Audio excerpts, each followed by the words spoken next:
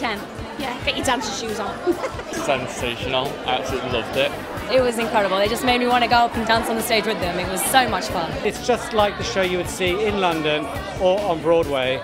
So there's no compromise. It's the complete Mamma Mia show. See you soon, Amman.